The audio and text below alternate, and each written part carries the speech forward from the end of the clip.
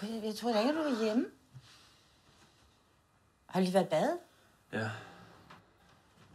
Hvad, mødte du så Søren derude?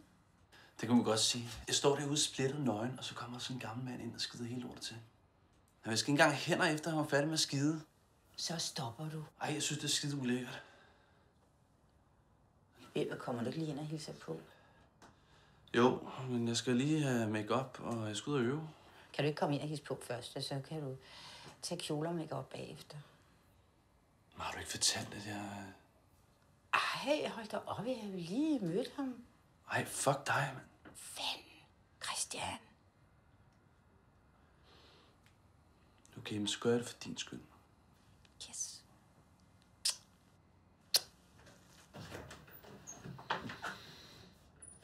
Det har taget lang tid. Det er Christian.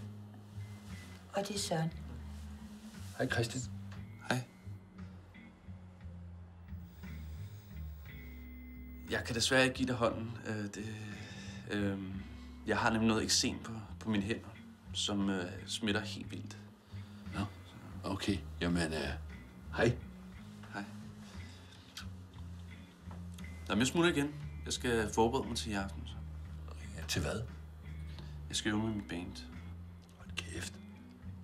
Er du rockmusiker? Sådan lidt. Ej, det er du da. Nej, det må jeg, det må jeg sgu høre en dag. Nå, vi ses.